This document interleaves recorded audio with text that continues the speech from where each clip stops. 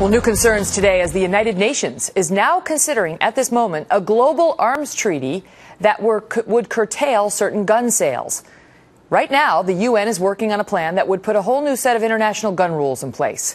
Supporters, including the Obama administration, argue it will make the world more secure by tamping down on weapons commonly used by gangs and terrorists. But critics fear it would infringe on the Second Amendment right to bear arms right here in the United States. Larry Pratt is the executive director of Gun Owners of America, and KT McFarland is a Fox News national security analyst.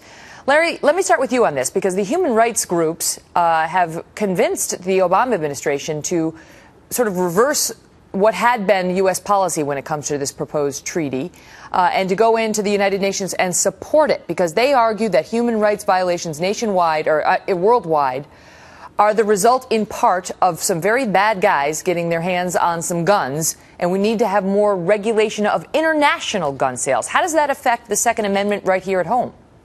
Well, it would completely uh, work against what the Second Amendment is intended to do, but it doesn't seem that the Constitution is much of a, an obstacle or a problem for this administration.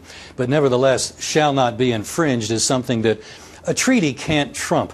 The, the, the, very language in the Constitution dealing with treaty making says that treaties have to be made under the authority of the United States. And if we, the people, haven't given authority for gun control to the United States, to the federal government, then its hands are tied. And uh, at a practical level, I think even Harry Reid's Senate would look at that treaty if it's presented to them and say, this is toxic. I'm not going there in an election year.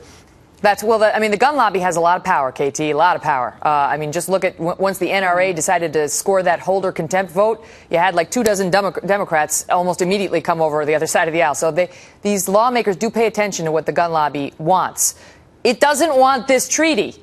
But why? I still fail to understand exactly how it's going to affect Americans and the Second Amendment, as opposed to because you know the, the folks in, eh, who are proposing this want us to believe that this is only an international thing that's going to stop you know genocide in other countries because we're going to take away their guns.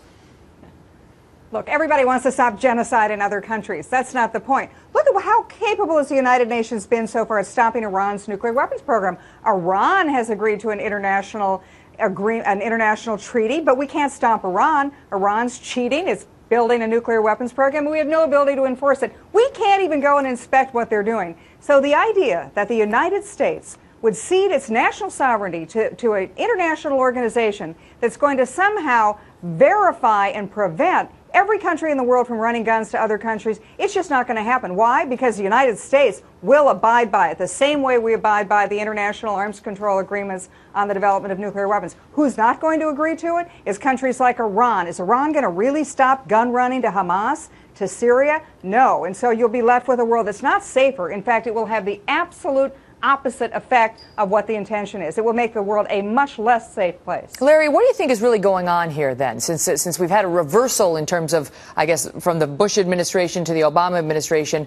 Why? Is this a political issue, or why would, why would the Obama administration be supporting this? It reflects the, the incredibly strong ideological commitment to control in general and guns in particular of this administration.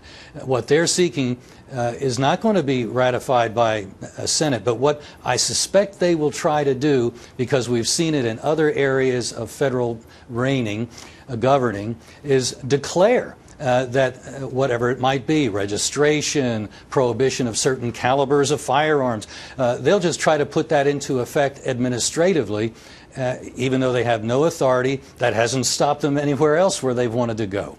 KT, the, the, the the UN agreement, the treaty, if it, if it is accepted, uh, would hold nations accountable through legally binding rules. Countries that sign it are going to have to pass laws to ensure that, that, that the weapons companies here in, in the United States, for example, abide by this treaty.